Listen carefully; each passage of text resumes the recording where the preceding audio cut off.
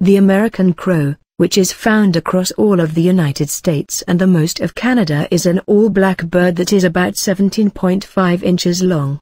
It is often misidentified as a raven, a bird to which it is closely related. Crows differ from ravens in appearance by their shorter, thinner beaks, and by their size, about 6 inches shorter than a raven. Crows may appear to be a deep purple color in bright sunlight, the scientific name brachyrhynchos means short beak.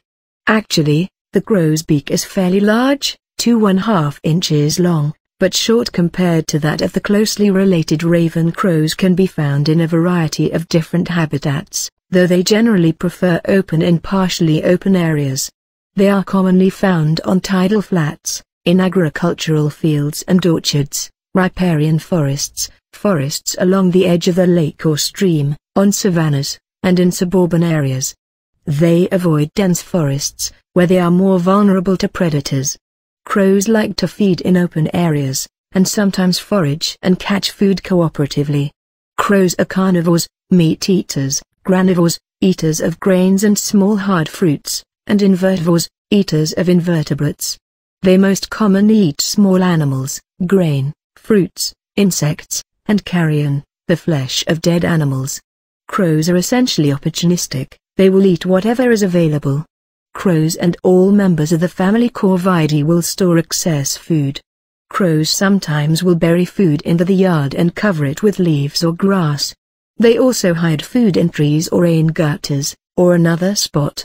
Lee crows make their nests in trees, shrubs, and on utility poles at varying heights above the ground.